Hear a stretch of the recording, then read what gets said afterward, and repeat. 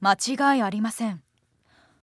傍聴席からは見えないようついたてで仕切られた中から17歳になった少年は検察官が読み上げた起訴内容についてはっきりした口調で認めました。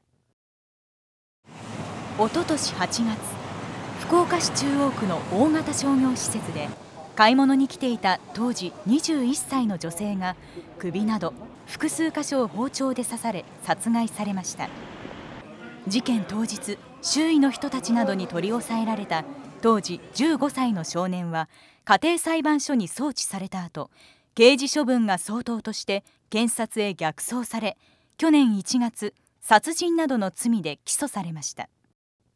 15歳だった少年による事件が公開の裁判員裁判で裁かれるのは極めて異例で福岡地裁で開かれた初公判の法廷は少年の姿はもちろん名前も伏せられたまま進められました。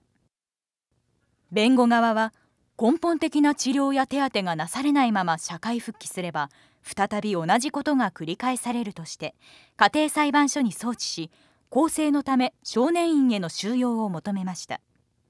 しかし検察側は更生の可能性が乏しいとして少年刑務所で刑罰を受けることを求めました。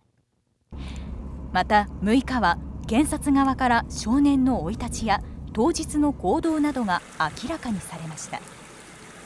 幼い頃から親族に虐待を受けていた少年は小学生の時に友人の首を絞めるなど暴力問題をたびたび起こしこれまでに精神病院や医療少年院など施設を転々としていたとしました。犯行の動機は性的目的でトイレで刺した女性の傷は10箇所以上。深いもので14センチまで達していたとしています。